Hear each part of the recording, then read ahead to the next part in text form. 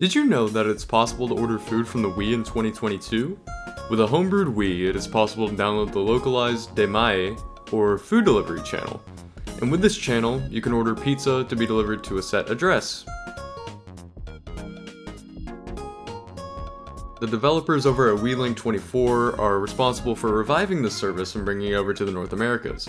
If you want to see how to install this channel yourself, I will leave a link in the description to check out WiiLink24's guide. Anyways,